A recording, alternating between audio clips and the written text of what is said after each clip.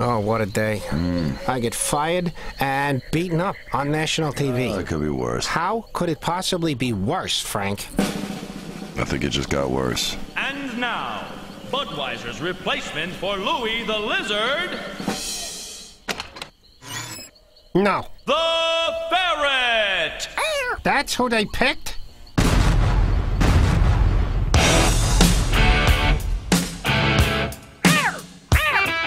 Know gerbils who dance better than that.